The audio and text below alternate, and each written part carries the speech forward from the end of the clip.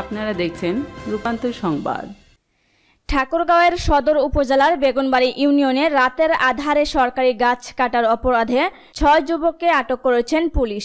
বিষয়টি নিশ্চিত করে ঠাকুরগাঁও সদর থানার ভারপ্রাপ্ত কর্মকর্তা তানভীরুল ইসলাম জানান, আটককৃত সবার বাড়ি দিনাজপুর জেলার কাহারোল উপজেলায়। আমাদের ঠাকুরগাঁও জেলা প্রতিনিধি আজম রেহমান বলেন, উপজেলা নির্বাহী অফিসারের কার্যালয় সূত্রে জানা যায়, বৃহস্পতিবার দিবাগত রাতে সদর উপজেলার বেগুনবাড়ি ইউনিয়নে সড়কের পাশে পাকা রাস্তায় থাকা নিম, মেহগনি জাতের ছয়টি গাছ তারা কেটে নিয়ে যান।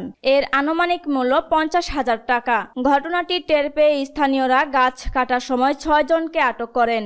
বিষয়টি উপজেলা নির্বাহী অফিসার আবদুল্লাহ আল মামুনকে জানানো হলে তিনি এগারো সেপ্টেম্বর ঘটনাস্থল পরিদর্শন করেন এবং অবৈধভাবে কাটা গাছগুলোর বিষয়ে ইউনিয়ন ভূমি সহকারী কর্মকর্তাকে ব্যবস্থা গ্রহণের নির্দেশ দেন।